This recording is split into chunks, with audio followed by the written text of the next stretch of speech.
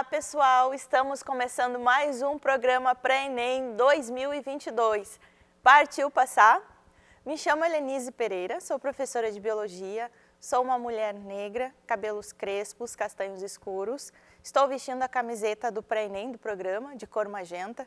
Aqui no estúdio nós temos as professoras intérpretes e libras, professora Lucimeia e Suzana. Então, pessoal, vamos para a aula de hoje, que é a aula de número 31 a ameaça aos biomas brasileiros e o ataque à vida. Parte 1. Por quê? Porque tem du vamos ter duas partes, tá, pessoal? Assim, ó, essa área que nós estamos falando nesse momento, nessa aula, esse assunto, é a área da ecologia, certo? E a ecologia é assim, é o top 3, o top 1 das questões que mais caem no Enem. Tá? E dentro da ecologia, tem assuntos também que têm caído mais frequentes, que são os problemas ambientais. Então, nós vamos dar um foco maior tá, para esse assunto em si, que são os problemas ambientais, as ameaças aos ecossistemas e tudo que está interligado a isso. Então, nós vamos dar enfoques, uh, uh, mais enfoques né, nesse assunto. Então, eu dividi em duas partes né, essa temática para nós vermos daí na aula 32 a parte 2, certo? Então, tá. Bom, o Brasil é um país rico em biodiversidade, né? Então, como eu estava falando anteriormente, né, então os problemas ambientais são foco né, das questões do Enem, principalmente os problemas ambientais relacionado ao, relacionados ao nosso país, ao Brasil. Tá? Então, sobre o nosso país especificamente que nós vamos falar. Então, os biomas né, do nosso país, eles têm sofrido crescentes ameaças que provocam sua degradação, sua destruição contínua. E isso coloca então em risco a sobrevivência das espécies né, de seres vivos, tanto animal, tanto seres vivos animais, vegetais, né, a fauna, a flora, os micro-organismos também, né? e também aceleram o processo de mudanças climáticas, né? que também é outra problemática né? e tem sido discutido uh, hoje em dia bastante. Bom, aqui então nós podemos ter uma visão né, geral dos biomas no nosso país, certo? Então, estão divididos ali no mapa em cores, o verde mais escuro, né, a Amazônia, o bioma da floresta amazônica. Depois nós temos a caatinga, mais ao nordeste, aqui mais no centro, cerrado, que é um verde clarinho. Depois nós temos a Mata Atlântica, que vem costeando né, o Oceano Atlântico.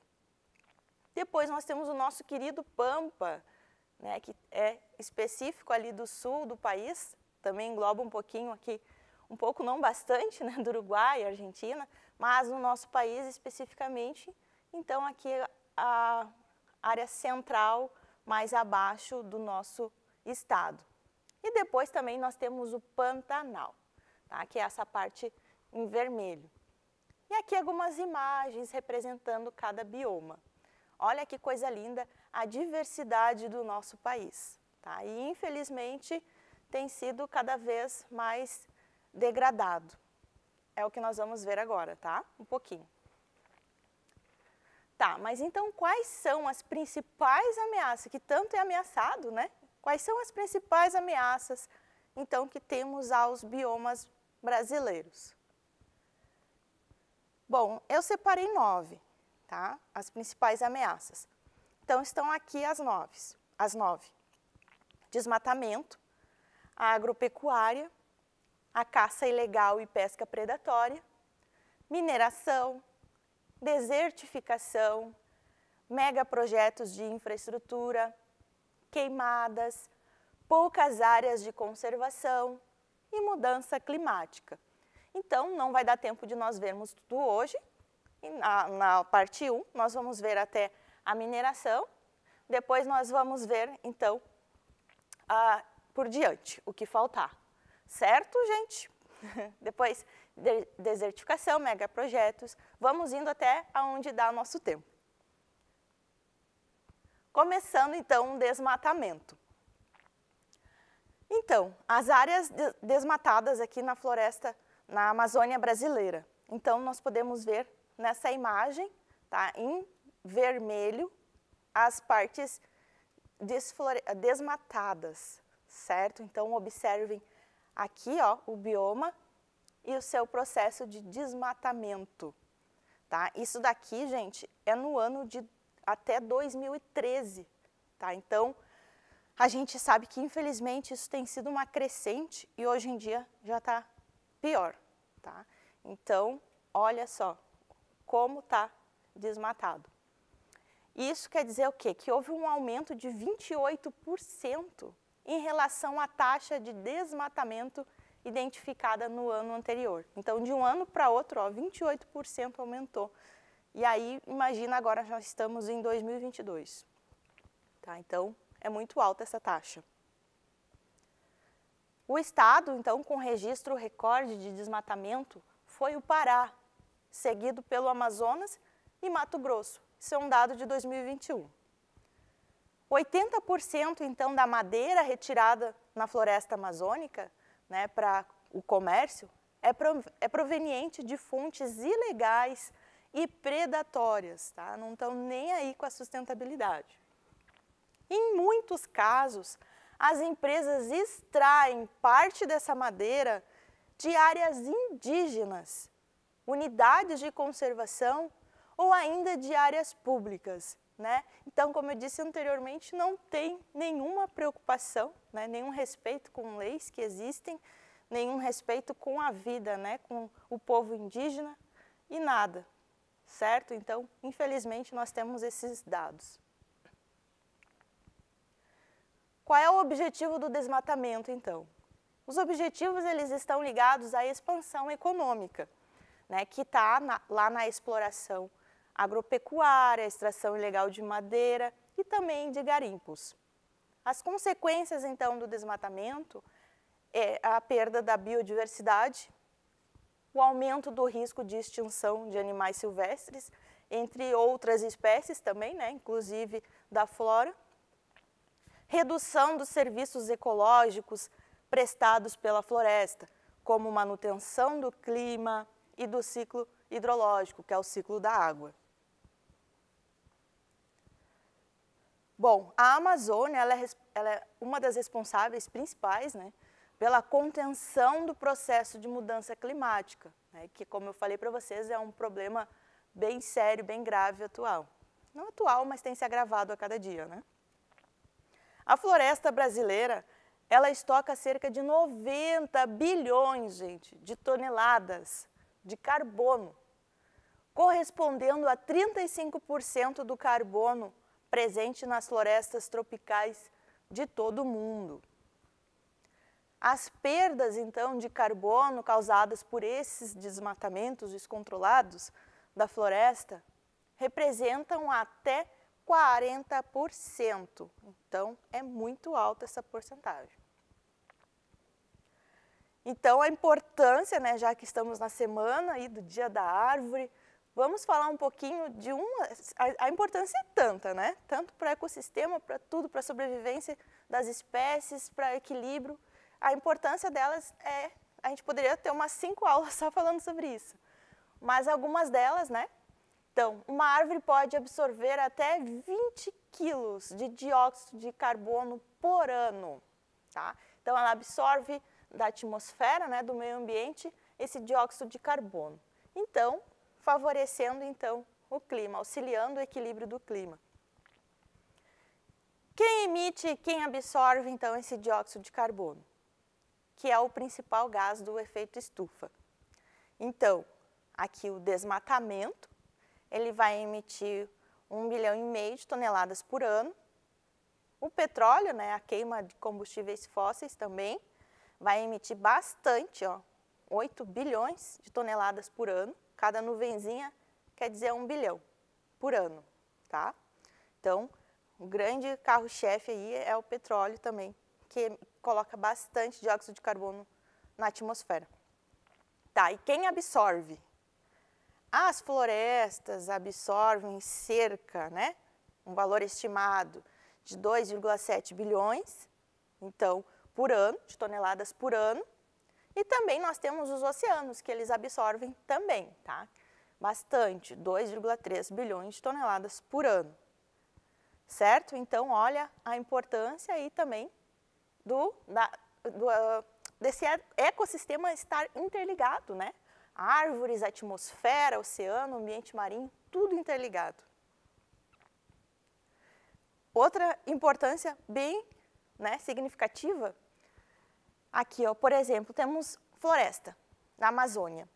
Tá? Elas vão transpirar, transpirar e condensar a água, né, que vai se transformar ali em rios aéreos que vão ser levados pelo vento e trazer a água para o resto do país, certo? Ai, mas o que, que eu tenho a ver lá com o desmatamento? É lá na Amazônia, é trilonge. Olha só, os rios aéreos que são lá, ó, evaporados lá, trazem água para o resto do país, gente. E o que, que acontece sem a floresta? Ó, sem floresta, aqui um exemplo, né? Tiraram a floresta, a pecuária, por exemplo. As, então, o que, que acontece? A água, então, acaba no resto do país. Não chove, é o que acontece, as secas, né? Uma, um dos motivos das secas aí. Então, um exemplo do desmatamento em alguns biomas. No Cerrado, perdeu aproximadamente 60% da área original do bioma, no período de apenas 30 anos. Então, no período de 30 anos, gente, perdeu mais da metade da área original. Tá? Então, de acordo então, com a conservação internacional, esse dado.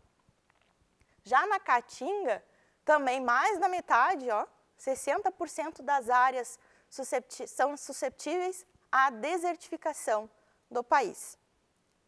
O desmatamento é um dos principais vetores da erosão do solo e do processo de degradação, né, onde é a destruição aí do solo.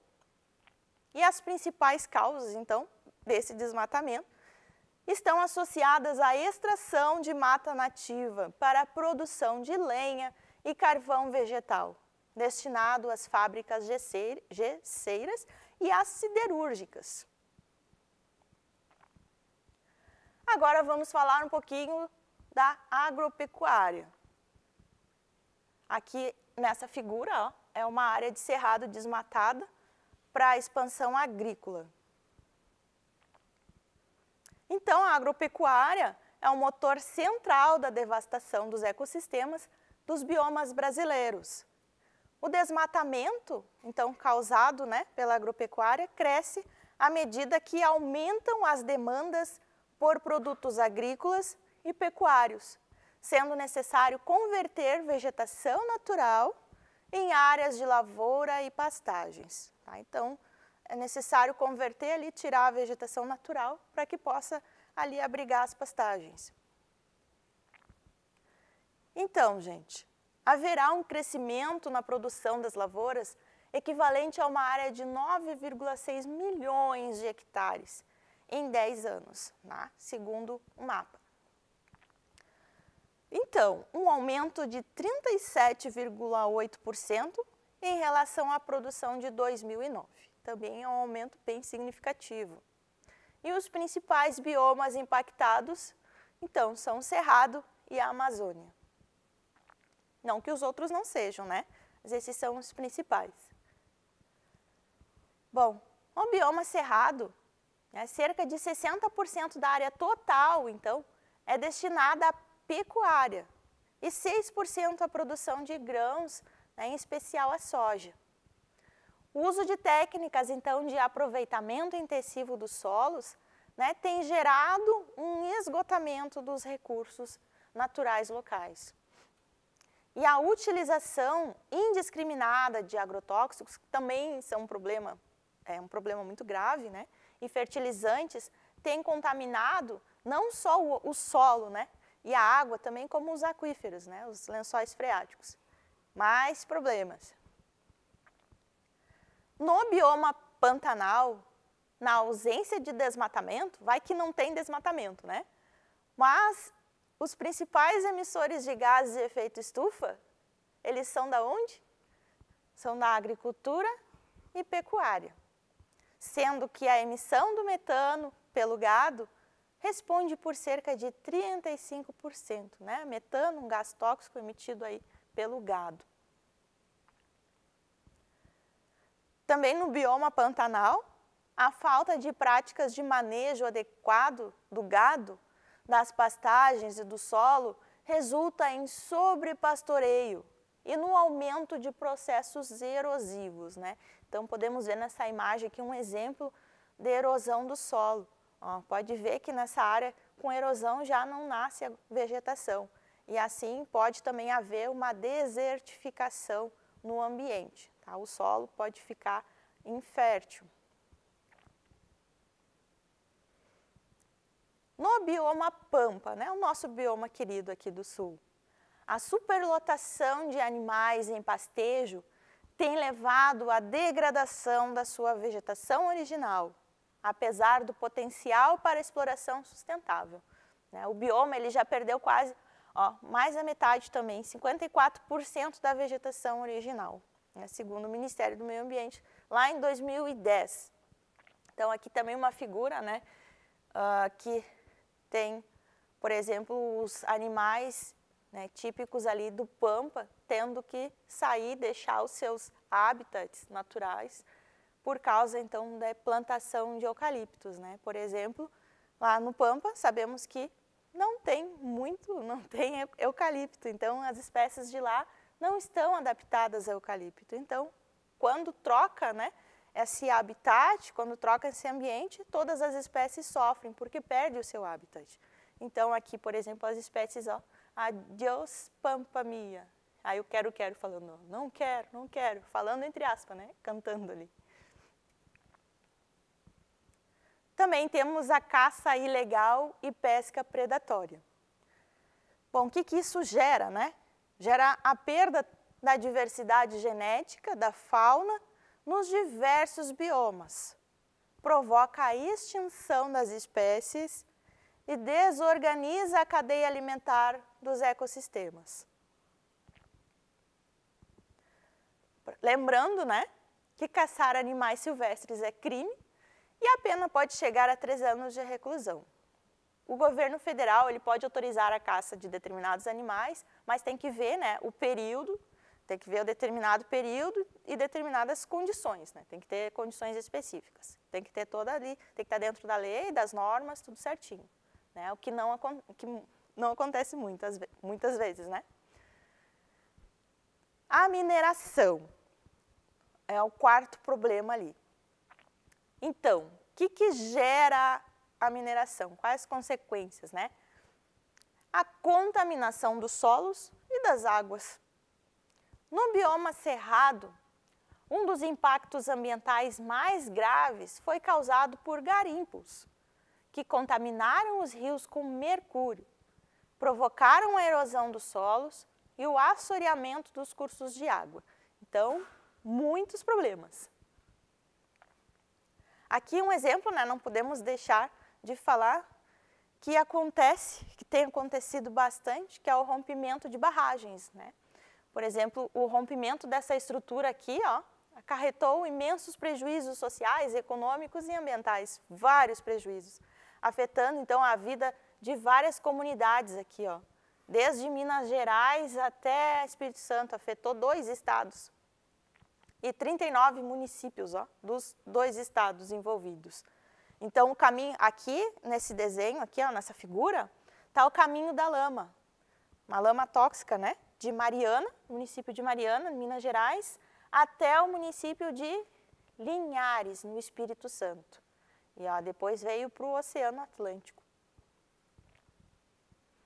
Também temos que lembrar do que ocorreu em Brumadinho, né, que até hoje nós vemos as consequências né, desse desastre que ocorreu lá em dia 25 de janeiro de 2009. Então, colocamos aqui vários uh, recortes de notícias né, relacionadas a isso, a esse ocorrido, que foi muito triste mesmo, foi um desastre muito grande. Então, esse desastre né, de Brumadinho foi considerado o pior ocorrido em barragens na década. deixou pelo menos 257 mortos e um rastro de destruição por onde ele passou, né? por onde essa lama tóxica passou. Cerca de 14 milhões de toneladas de lama e rejeitos de minério de ferro percorreram 8 quilômetros em poucos dias. Tá, agora eu dei todos os problemas, as ameaças para vocês. Né? Falei aqui várias ameaças, vários problemas. O que você acha? Quais são as possíveis soluções para esses problemas? Eu vou deixar esse questionamento com vocês para vocês pensarem o que, que poderia ser feito, né? o, o que, que já tem pronto e que não está sendo feito também, né? que está sendo aí está uh, sendo passado assim diante dos nossos olhos sem darmos tanta importância, né? Então fica esse questionamento aí para vocês.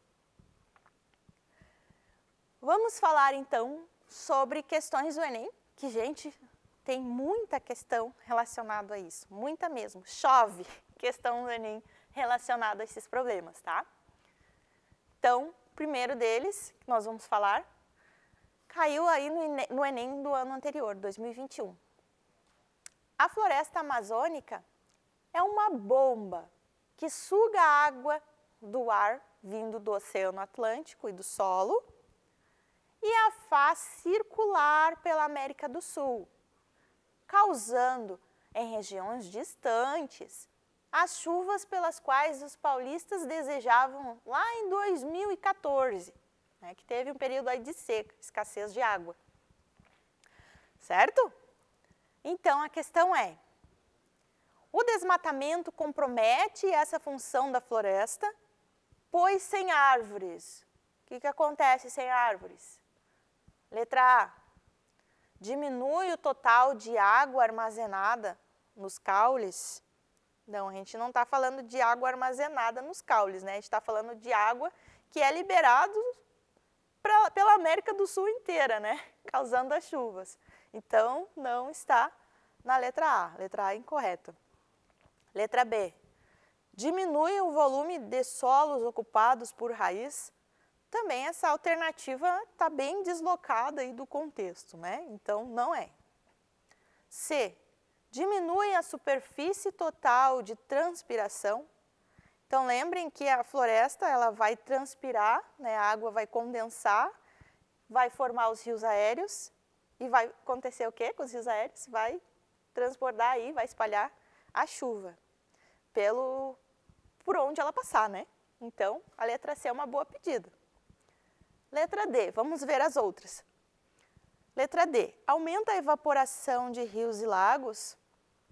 Será, ó, gente, ó, se vocês não prestarem atenção no que está pedindo, ó, se, se, se, se sair atenção um minuto, ó, já pode marcar D, né? mas não está li, linkado, ó, não está ligado com o enunciado. Às vezes tem uma alternativa que é linda, maravilhosa, mas não está linkando, não está ligado com a, o que está pedindo. Então, é, esse é o caso da D, tá? Não é. E, aumenta o assoreamento dos rios, então também essa questão está deslocada. Não vai aumentar porque é o desmatamento.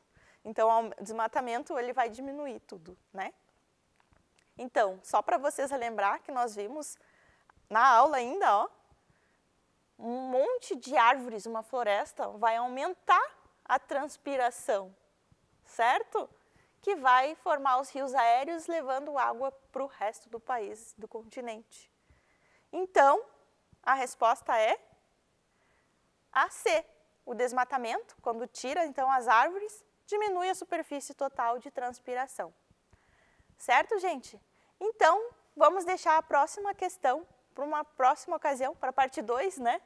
Então, a referência da aula de hoje, vamos proteger o planeta. Nós somos protagonistas também dessa história. É o nosso lar, é o nosso ambiente, nós temos que cuidar dele. Tá bom, gente? Espero ter ajudado. Um beijão, bons estudos, forte abraço.